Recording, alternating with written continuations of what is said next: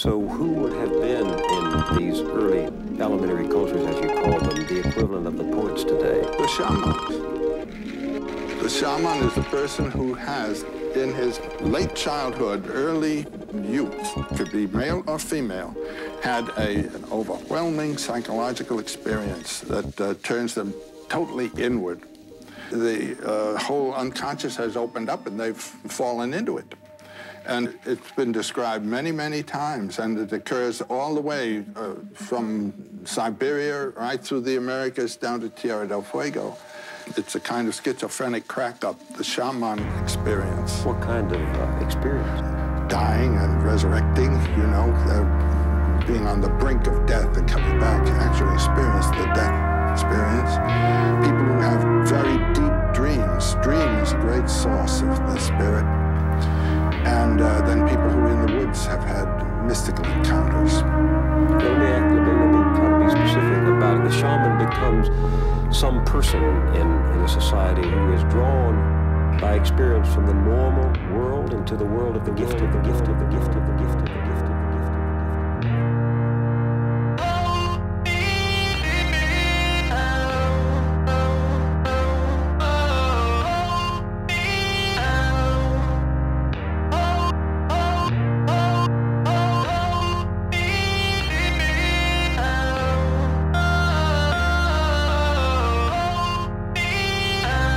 Hotbox, Deli, yeah.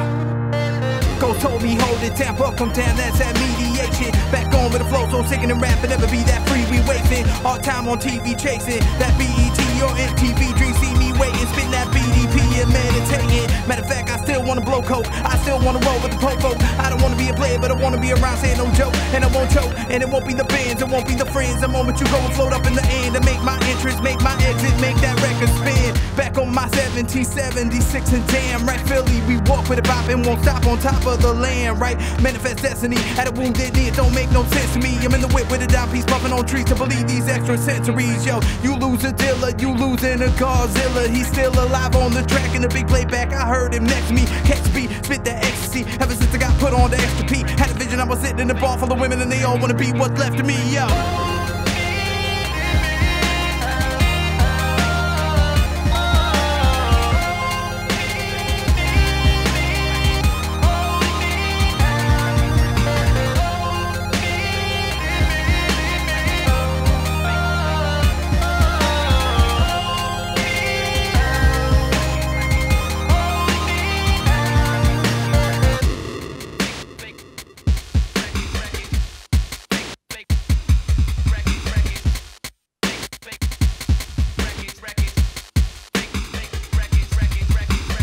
I write them rhymes change their minds on my records, records. And they get a paycheck, just pay that rent until we stacking cheddar. Life still ain't better, man. I'm still on stage with a head rap better win. Better make a move now when it all fall down. I'll be that ooh, I veteran. That's not so bad, not so easy to have. Battle rap in a verse, but still wanna make it easy to grab. Wanna be that Polo Rican, I'll be forever geeking, city sleeping. Ever since 86, everything in the right's gonna be forever speaking. Every weekend's a blur, every night's automatic. Better off on the path through that I got truth and beauty all about it. Everything we touch is gold, everything I see is bright. Every day I'm one step closer to the end, it might as well be night.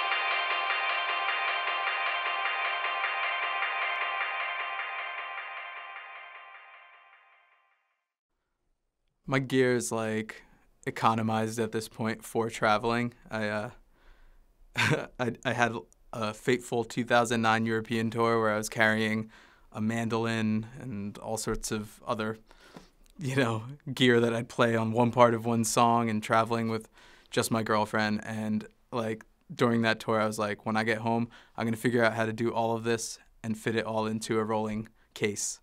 Um, and so have tiny little one octave keyboard. I can control all of the samples from a uh, APC40, Akai uh, MIDI controller, and uh, you know I've these uh, sort of drum drum triggers for playing drums.